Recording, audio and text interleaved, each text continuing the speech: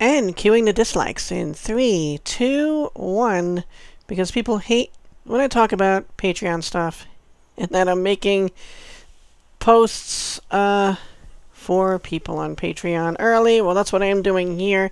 This uh, video is primarily for people who are patrons on Patreon and supporting me or those who are thinking about it, maybe on the fence. But in any case, yeah, I have the first five episodes plus the pl the um, episode zero, which I talk about the game and you know improvements I've made on it and such. So uh, zero, one through five are up on Patreon now. So if you are a patron, you may go view it. If you wish to become a patron, all we need is a dollar a month, and boom, you're in.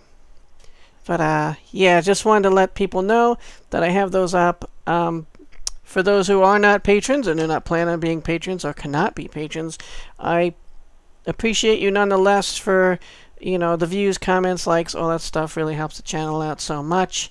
You know, even if it's not in a monetary fashion, I appreciate it nonetheless. And these videos I'm putting up early for patrons, they would have no spot right now as it is on my channel because I'm Arena would be taking up where Disco Elysium is running, if that makes any sense.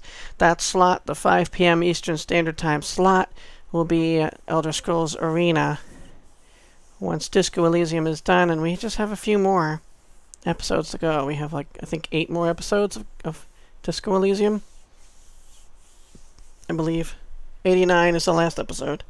So, otherwise, yeah. Um, January, sorry, January. July 29th is when the uh, Arena Part 0 and Part 1, which starts actual gameplay and character creation in Part 1, that will be going up on August. What am I saying? July 29th. I can't keep this straight. So then, and then from then on, you know, it'll be daily from then. So, and if you want to become a patron and support me on Patreon, the link is in the description, and there'll be something at the end, an end card that you can click on as well in the video. Either way, this is not blocked off content. Indefinitely it's just um, from a week to week and a half early or something like that. Two weeks. We're just under two weeks early. So just giving a heads up.